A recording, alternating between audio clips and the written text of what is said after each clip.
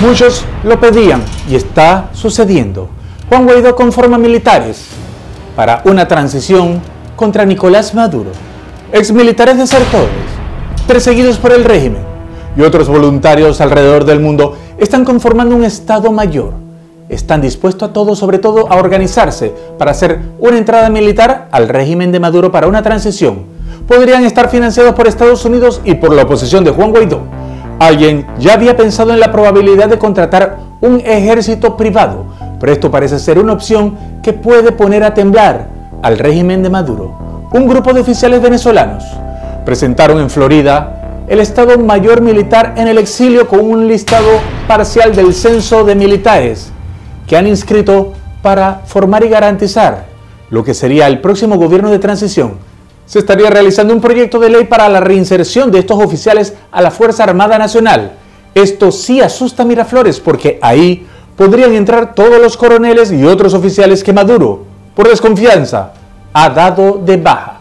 Por ahora, la cabeza visible de ese Estado Mayor es el capitán de la Guardia Nacional, Javier Nieto Quintero, y están organizándose alrededor del mundo. Un censo inicial indica que hay como 2.800 registrados pero también hay como 3.300 listos para registrarse. Estaríamos hablando de un total de 6.000 hombres dispuestos a ofrecer su apoyo para reconstruir Venezuela.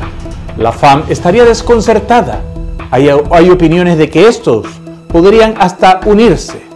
Y es que falta una chispa motivadora para que la FAM dé el paso y se cree que este Estado Mayor estaría preparándose para una entrada en Venezuela y poder dar esa chispa para motivar a la FAM.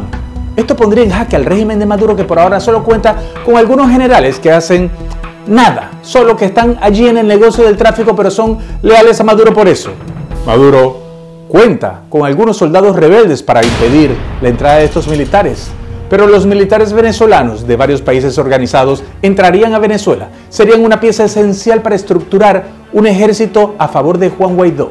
Y esto ya han comunicado a Estados Unidos que serían el punto de partida para un TIAR o cualquier reemplazo a la FAN, esperando una transición. Esto es algo serio y es muy posible y de hecho es una gran iniciativa. El mundo se prepara para el cambio y parece que Juan Guaidó ya está formando su ejército militar. Se sumará alguien más o la FAM o el mismo?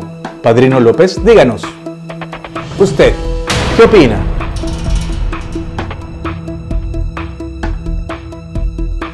Tus comentarios y recuerda suscribirte a nuestro canal.